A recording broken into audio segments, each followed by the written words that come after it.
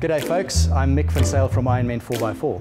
Let's discuss the controversial subject of bull bars, underbody plates, side steps, battery equipment, canopies, roof racks, sliding systems, water storage, additional fuel, everything that can be done. Dun, dun, dun,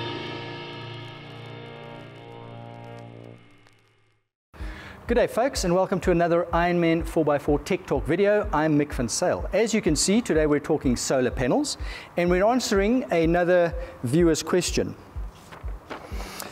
There was a question recently as to whether or not I was wearing trousers when I'm standing behind the table and I can tell you Yes, I never go without my trousers. But onto a more serious uh, uh, topic here. What is the difference between a PW, PW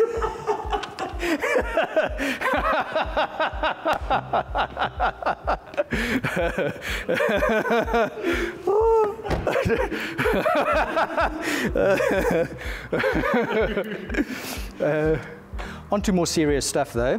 What is the difference between a PWM solar controller and an MPPT solar controller? Very good question. So PWM and MPPT are the two different types of controllers you get to uh, control and convert the power from your solar panel to your, your battery. This is a PWM controller, pulse width modulation type of controller.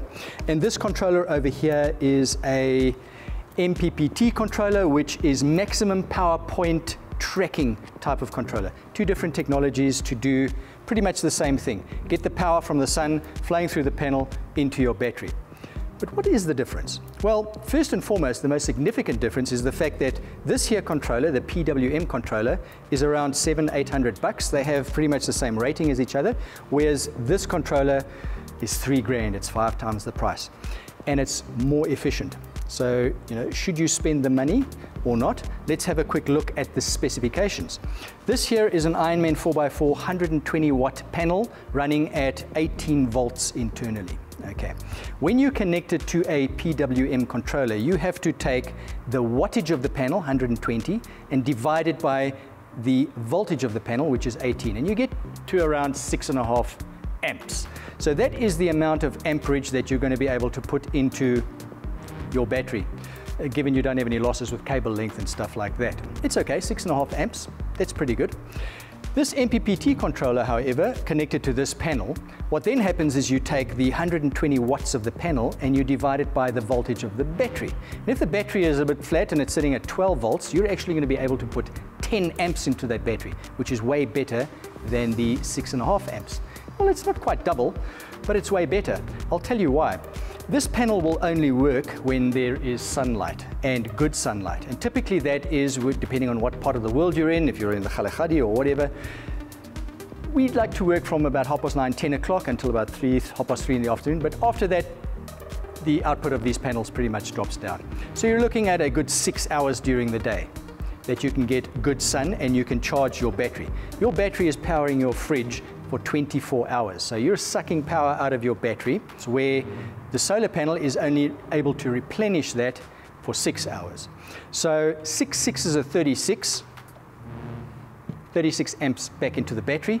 Using this one, 60 amps plus.